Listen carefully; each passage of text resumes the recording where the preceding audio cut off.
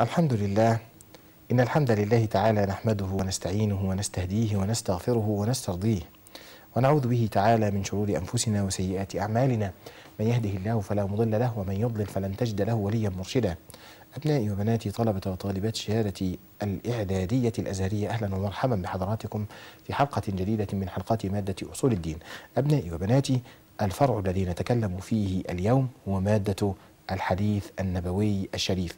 أبنائي وبناتي ومع الحديث الثامن من الأحاديث المقررة علينا من سنة النبي صلى الله عليه وآله وسلم ومع السبعة الذين يظلهم الله في ظله يوم لا ظل إلا ظله نبدأ يومنا. أبنائي وبناتي هيا بنا نبدأ. السبعة الذين يظلهم الله في ظله. عن أبي هريرة رضي الله عنه عن النبي صلى الله عليه وآله وسلم قال سبعة يظلهم الله في ظله يوم لا ظل إلا ظله. الإمام العادل وشاب نشأ في عبادة ربه ورجل قلبه معلق في المساجد ورجلان تحابا في الله اجتمعا عليه وتفرقا عليه. ورجل طلبته امرأة ذات مال وجمال فقال إني أخاف الله. ورجل تصدق أخفى حتى لا تعلم شماله ما تنفق يمينه. ورجل ذكر الله خاليا ففاضت عيناه. والحديث متفق عليه يعني رواه الإمام البخاري والإمام مسلم.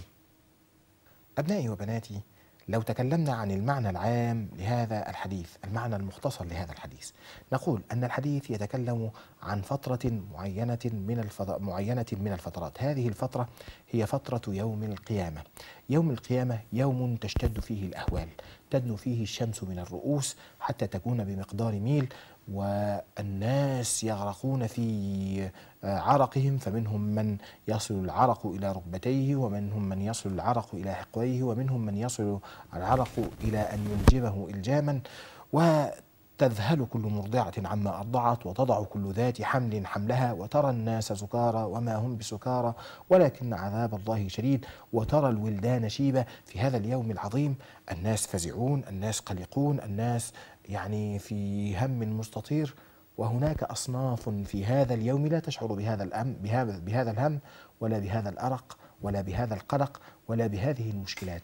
هؤلاء السبعة مش سبعة أشخاص هؤلاء سبعة أصناف ومش الأصناف دي بس اللي آمنون من عذاب الله سبحانه وتعالى لكن دي من الأصناف الآمنة من عذاب الله تبارك وتعالى ومن انتقام الله تبارك وتعالى يوم القيامة. في ظل هذه الأوقات العصيبة اللي الشمس تدنو من الرؤوس هناك سبعة يظلهم الله في عر في ظل عرشه يوم لا ظل إلا ظله سبحانه وتعالى.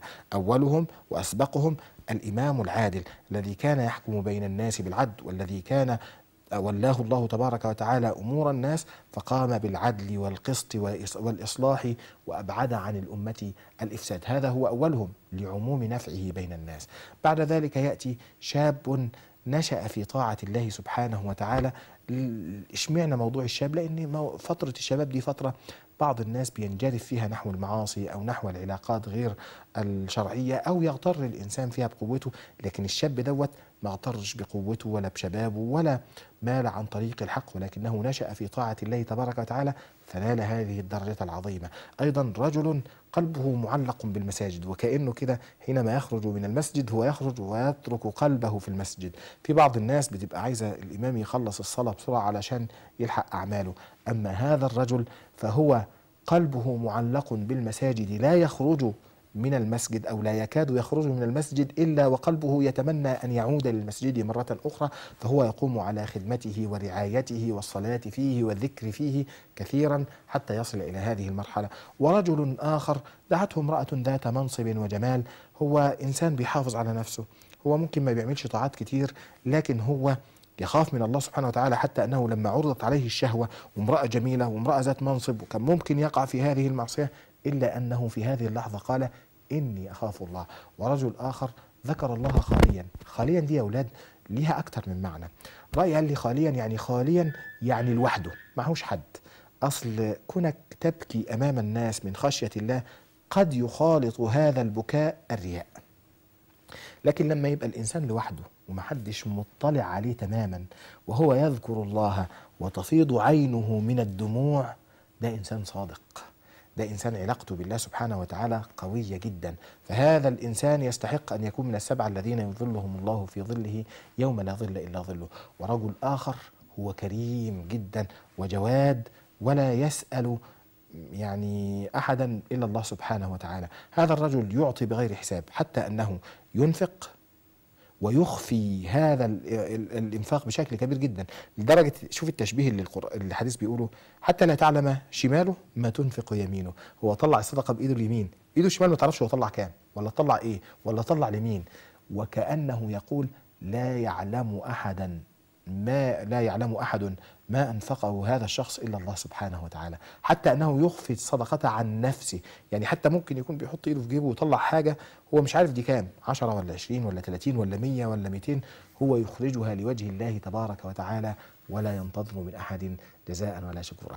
أبنائي وبناتي هذه اللوحة التي يرسمها لنا رسول الله صلى الله عليه وآله وسلم لهؤلاء العباقرة لهؤلاء الم- ال- النوعية أو لهؤلاء المجموعة المصطفى والمنتقى هؤلاء الذين يكونون في ظل عرش الله يوم لا ظل إلا ظله يرسمها لنا رسول الله صلى الله عليه وسلم لنقتدي بهم. يرسمها لنا رسول الله صلى الله عليه وسلم لنتأسى بهم. مش علشان إحنا بس نقول ده كلام جميل وكلام كويس لا لقد كان في قصصهم عبرات لأولي الالباب أبنائي وبناتي هيا بنا إلى المفردات. معاني المفردات. حينما يقول النبي صلى الله عليه وآله وسلم سبعة يظلهم الله في ظله فهل المراد سبعة أشخاص؟ قال لي لا المراد ليس سبعة أشخاص وإنما المراد سبعة أصناف المراد سبعة أصناف وليس سبعة أشخاص سبعة أصناف من الناس. ممكن يكون الإمام العادل ده مش واحد ولا اتنين ولا تلاتة ولا عشرة ممكن يكون ألف ممكن يكون ألفين. المهم إن هم سبعة أصناف يظلهم الله في ظله يوم لا ظل إلا ظله. طب يعني إيه يظلهم الله في ظله؟ قال لي في ظله يعني في ظل عرشه سبحانه وتعالى. أولهم الإمام العادل. ما المراد بالإمام؟ قالوا أبنائي وبناتي الإمام المراد به كل حاكم وكل راع في رعيته فكلكم راع وكلكم مسؤول عن رعيته سواء كان هذا الإمام رئيسا للجمهورية أو خليفة للمسلمين أو مديرا لمكان من الأماكن الإمام العادل طيب ما معنى كلمة العادل؟ كلمة العادل يعني أنه يطيع أمر الله سبحانه وتعالى وينتهي عما نهاه الله ويقيم العدل بين الناس أيضا من ضمن أولئك الذين يدخلون الجنة شاب نشأ في عبادة ربه. فما هو الشاب؟ قال لي الشاب هذا هو من لم يجاوز الأربعين.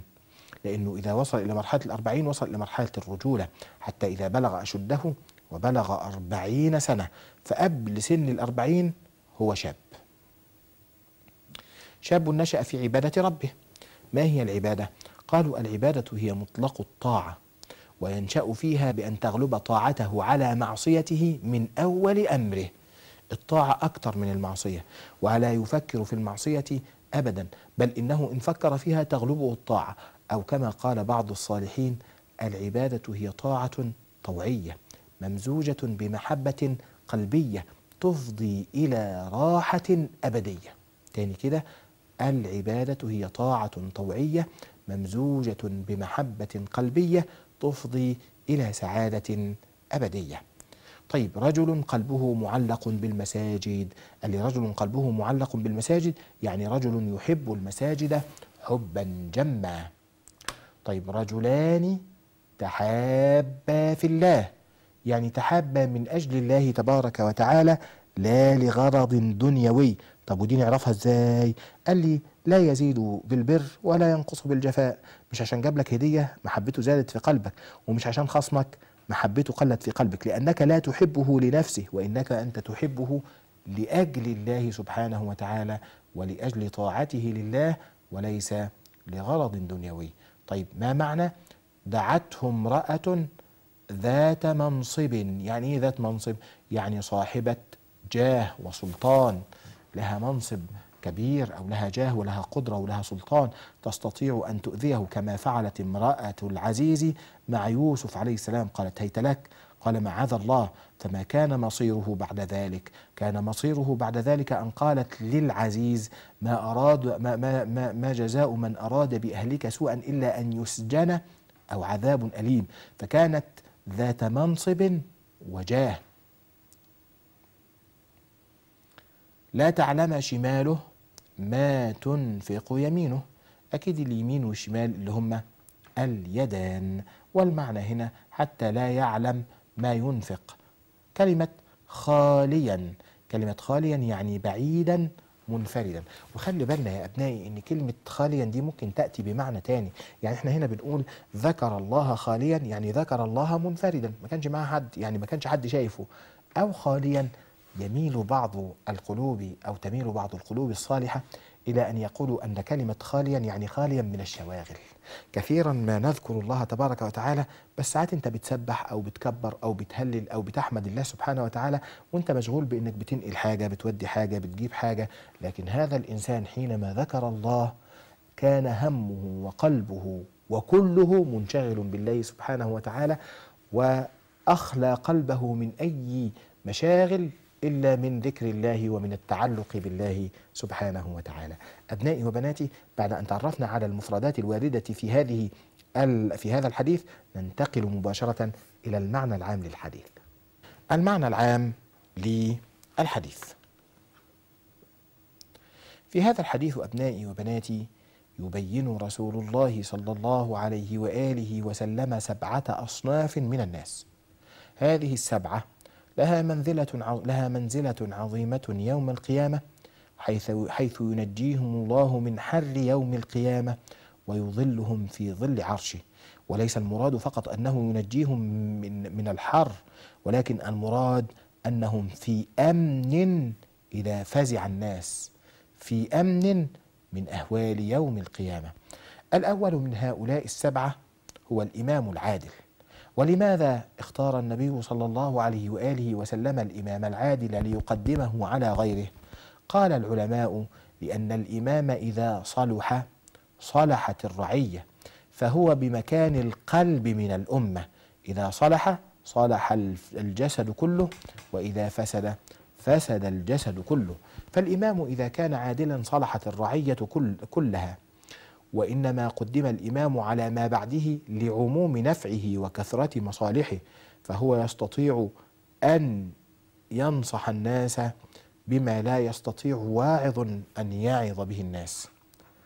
أما النوع الثاني أبنائي وبناتي من أولئك الذين يظلهم الله في ظله يوم لا ظل إلا ظله فهو شاب حافظ على طاعة الله.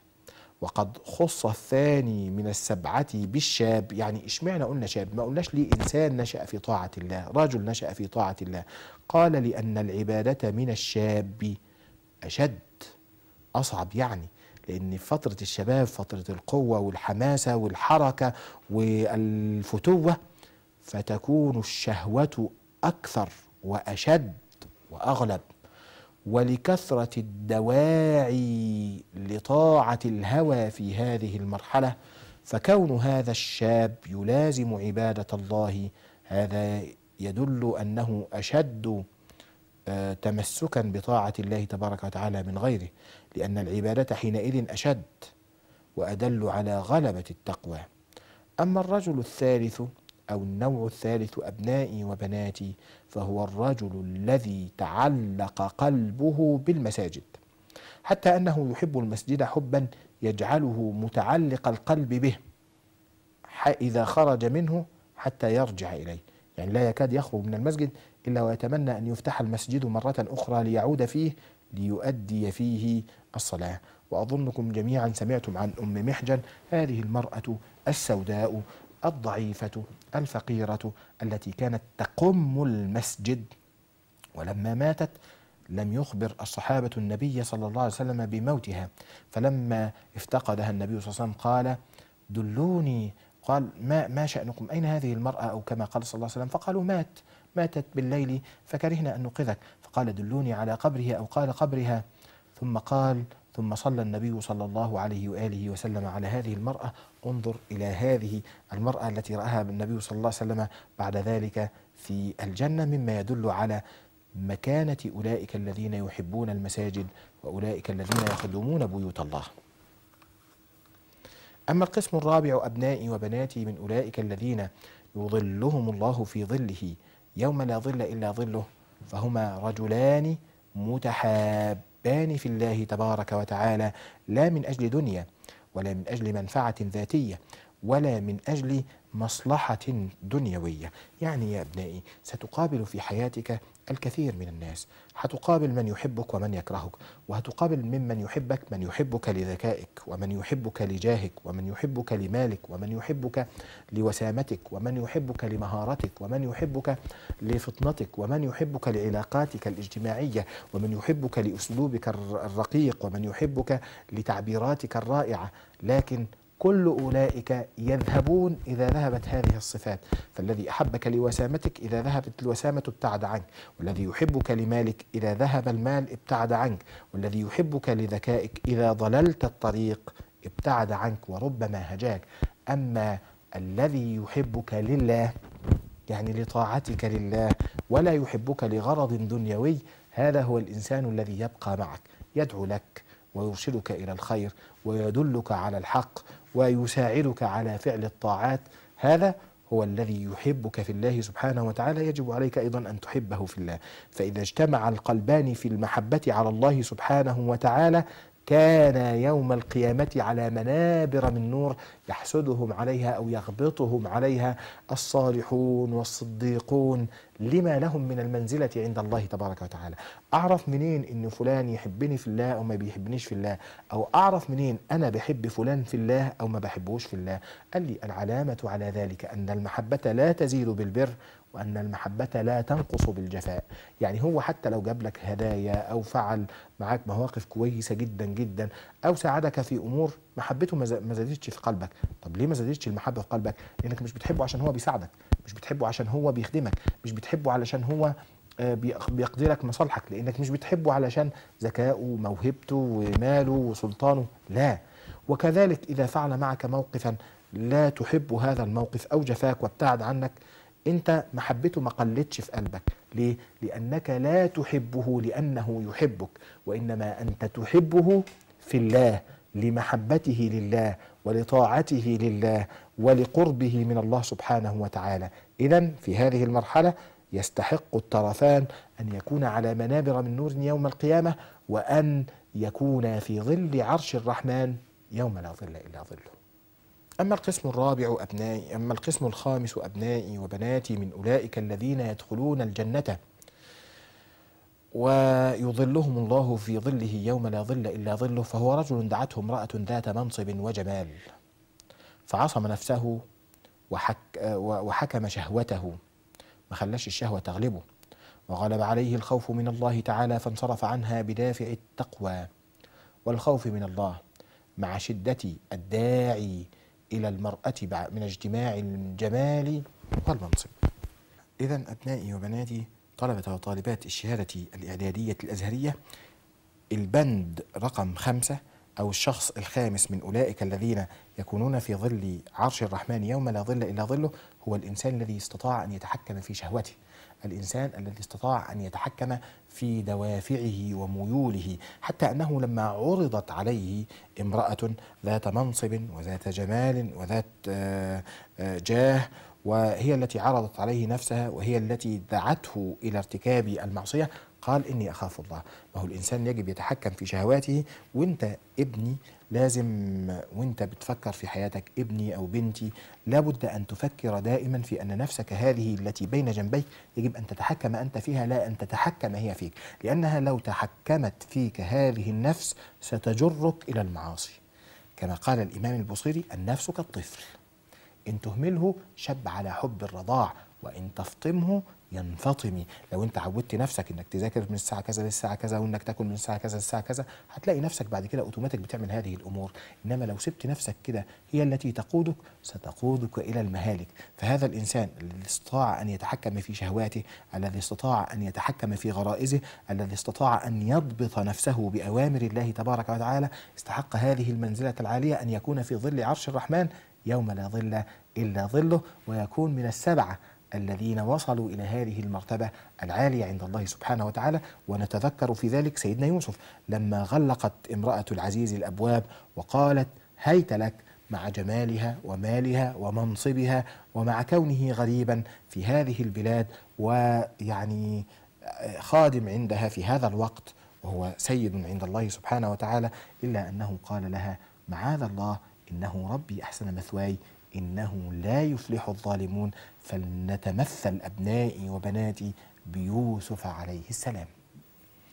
الشخص السادس أبنائي وبناتي من أولئك الذين يستحقون هذه المنزلة العالية عند الله تبارك وتعالى رجل تصدق بصدقة سرا. وصدقة السر دي لها مكانة كبيرة عند الله سبحانه وتعالى.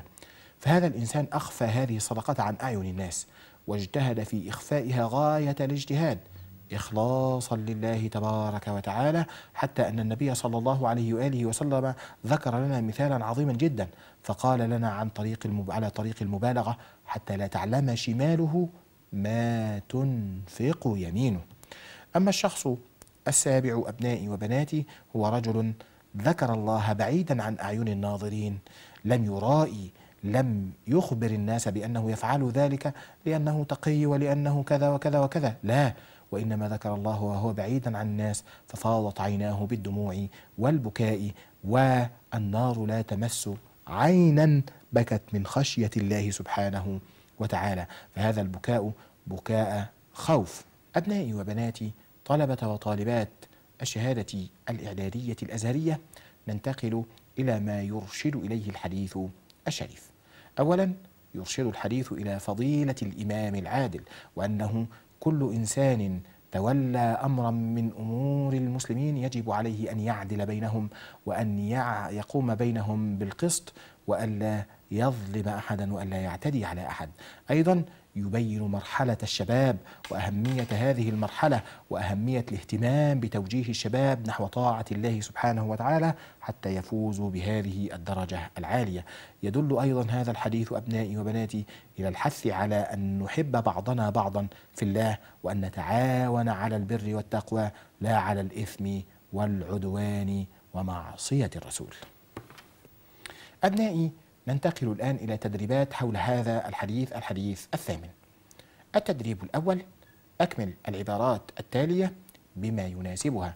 أبنائي وبناتي إحنا واجب علينا أن إحنا نحفظ هذه الأحاديث أن نحفظها بقلوبنا وأن نحفظها بأفئدتنا وأن نحفظها بلساننا. فهنشوف الحديث كده ونكمل هذا الحديث. أنتوا خدتوا عن أبي هريرة رضي الله عنه عن النبي صلى الله عليه وآله وسلم قال سبعة يظلهم الله في ظله يوم لا ظل إلا ظله. نقط. وشاب نشأ في عبادة ربه. ورجل نقط. ورجل ورجلان تحابا في الله اجتمع عليه وتفرقا عليه. ورجل طلبته امرأة ماذا فعل؟ فقال إني أخاف الله. ورجل تصدق أخفى حتى لا تعلم إيه؟ ورجل ذكر الله إيه؟ هذا الحديث متفق عليه. الإجابة هكذا أبنائي وبناتي سبعة يظلهم الله في ظله يوم لا ظل إلا ظله. حاضر. الإجابة الإجابة تكون هكذا أبنائي وبناتي سبعة يظلهم الله في ظله يوم لا ظل إلا ظله. أول واحد الإمام العادل. طيب ورجل إيه؟ هنقول ورجل قلبه معلق في المساجد. ها؟ ورجل طلبته امرأة إيه؟ برافو. طلبته امرأة ذات منصب وجمال. فقال إني أخاف الله. ورجل تصدق أخفى حتى لا تعلم إيه؟ برافو. حتى لا تعلم شماله ما تنفق يمينه. آخر حاجة ورجل ذكر الله إيه؟ برافو. ذكر الله خاليا ففاضت عينه. طيب أبنائي وبناتي المقصود بكلمة سبعة. المقصود بكلمة سبعة. برافو. بسبعة أصناف من الناس. طيب ما المقصود بقوله في ظله؟ الإجابة الصحيحة يعني في ظل عرشه سبحانه وتعالى. طيب لو قلنا يا أبنائي وبناتي ما المقصود بالإمام في هذا الحديث؟ هل المقصود بالإمام في الصلاة؟ لا. المقصود بالإمام في الحديث كل حاكم وكل راع في رعيته فكلهم مسؤول أمام الله تبارك وتعالى يوم القيامة عن رعيته. طيب ما المراد بالعبادة في الحديث؟ هل المراد بالعبادة الصلاة والزكاة والحج؟ ابدا، إنما المراد بالعبادة في الحديث هو مطلق الطاعة. ما معنى شاب نشأ في عبادة ربه؟ الإجابة أن هذا الشاب غلبت طاعته على معصيته في أول أمره. ضع علامة صح أمام العبارة الصحيحة وعلامة خطأ أمام العبارة الخاطئة فيما يأتي مع التصويب. الجملة الأولى رجل قلبه معلق في المساجد أي أنه يحب المساجد حبا شديدا. هذه عبارة صحيحة. قوله صلى الله عليه وآله وسلم ورجلان تحابا في الله. أي أنهما أحب بعضهما بعضا من أجل الله تبارك وتعالى لا من أجل غرض دنيوي لا من أجل منصب ولا مال ولا جاه ولا ذكاء ولا واسطة. هذه عبارة صحيحة. لو قلنا أبنائي وبناتي أن النبي صلى الله عليه وسلم قدم الإمام العادل على غيره لمنصبه وجاهه بين الناس نقول هذه عبارة خاطئة. إنما قدمه النبي صلى الله عليه وآله وسلم لعموم نفعه لأنه إذا صلح صلحت الرعية وإذا فسد ربما فسدت الرعية. العبادة من الشاب أسهل من العبادة في الكبر. هذه عبارة خاطئة فالحقيقة أن العبادة في مرحلة الشباب هي أصعب بكثير لغلوب الفتوة وغلبة الشهوات التي تعرض للإنسان في هذه المرحلة العمرية. الرجل المعلق قلبه بالمساجد ومن يحب المساجد حبا يجعله متعلق القلب به إذا خرج منه حتى يرجع إليه. هذه عبارة صحيحة. أبنائي وبناتي طلبة وطالبات الشهادة الإعدادية الأزهرية.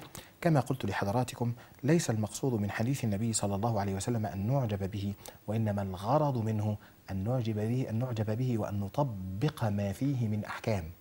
أن ينظر كل واحد منا إلى هذا الحديث ويسأل نفسه أنتوا لسه في المرحلة الإعدادية؟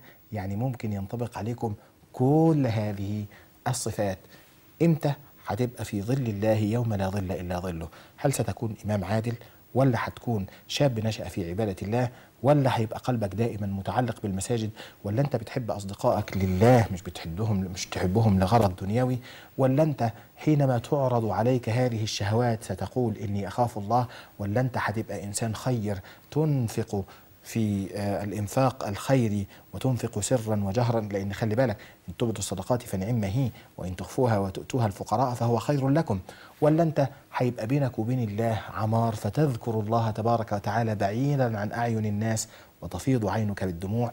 ابحث لنفسك يا ولدي وابحثي لنفسك لنفسك يا ابنتي عن باب من هذه الأبواب السبعة لتكونوا في ظل الله يوم لا ظل إلا ظله. واعلم واعلمي أن التذكير والتأنيث في الحديث لا مفهوم له.